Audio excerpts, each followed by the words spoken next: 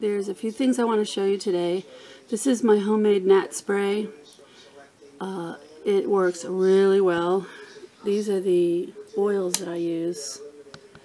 Citronella, cedarwood, and lemongrass. I mix it with a few oils and some alcohol and water. Put it in a small spray bottle and it works great.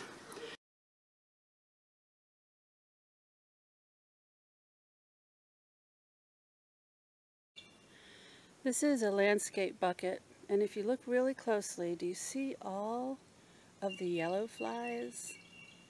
There are hundreds. Why are they stuck on this?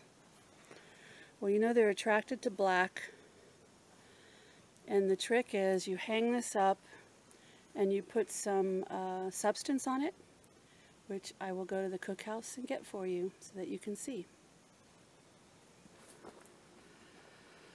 We're entering the cookhouse now. This is to let the cat go in and out as he pleases. This is the substance that we get. It's called Tangle Trap. And my husband also says that Lucas oil, regular Lucas oil, you can get the hardware store, that that works also. You put it over that black bucket, hang it upside down in a tree, and they will all come and you will be relieved. No more biting flies. They come out when the blackberries come out and they go away July 4th. Literally, on that day, you will see no more. I'm just going to show you a little bit of the compost pile. The right side has a, a lot of the older stuff, and this side is where I go ahead and throw things in when I have them from my kitchen. And look how happy my worms are. Lots and lots of worms. The right side of the pile is ready for me to take any of the worm castings.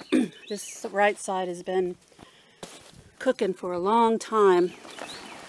And the way, the way you do this is you expose it to the sun and all the worms will go down to the bottom and then you scrape off the, the top two or three uh, inches and then you'll just take out any little debris and then you'll have worm castings, black gold they call it. It helps to fight pesticides, parasites, it fertilizes, it's really great. This is something I want to show you. It is where we make our manure tea.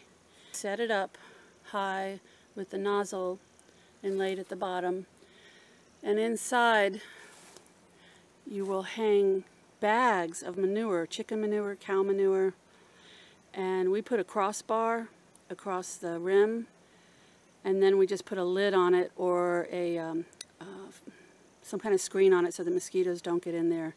Sometimes we use a square screen cover if it'll fit. But it's really simple and boy when it comes out it is good. You have to aerate it and we have a small electrical system here where we go ahead and put a little fish aerator pump in there. Do it for a few days, and then you go ahead and pull the bags out, let them hang and drip for maybe 10 hours or 12 hours. Then you go ahead and you get your tea. You have to get your tea like pretty soon, like within a day, and put it out on your plants within a day because it it will spoil. It works really good the last time I brought you out here, we were talking about how we're going to extend this. We got a little bit of it done. It's gone out this far. We're going to, um, you know, close it in on the other side. That little eggplant's coming right there. See it? This is the inside. It's been cleaned out a little bit. Um, my pineapples are still down there. And this is the end of my Everglades tomato plant. One plant. it's like an octopus. But um,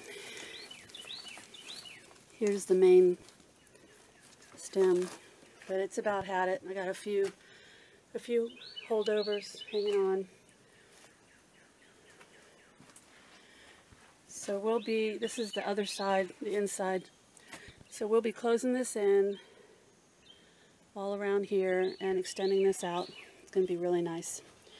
And I got my first Florida rose this season. I wanted to show you these turmeric plants. I had the roots, oh, I, about six months ago, and I planted them in these buckets. Spring came, they didn't come up. And I realized that I planted the roots like eight or ten inches below the surface, which I don't know what I was thinking.